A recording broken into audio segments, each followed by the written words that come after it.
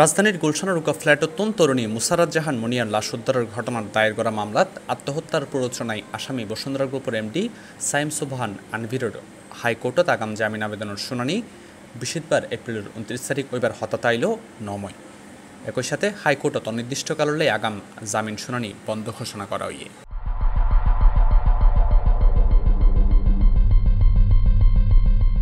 হাইকোর্টের যে বেঞ্চের কার্যতালিকাত তার আগাম জামিনের আবেদন না শুনানিলৈ আসিল।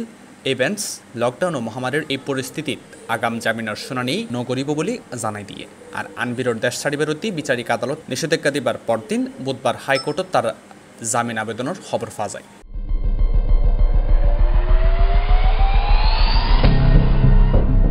হৈরাহি গেল সোমবার আজন্যা গুলশান দুইয়ের একশো বিশ নম্বর রোডের উগা ফ্ল্যাটত্তন কলেজ ছাত্রী মনিয়ার ঝুলন্ত মরদেহ উদ্ধার করে পুলিশ।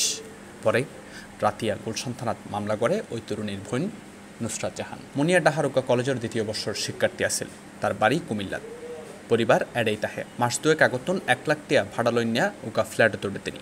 ময়না তদন্তর পর মুনিয়ারে মঙ্গলবার কুমিল্লাত দাফন করা হয়। ডেক্স নিউজ, সি প্লাস টিভি।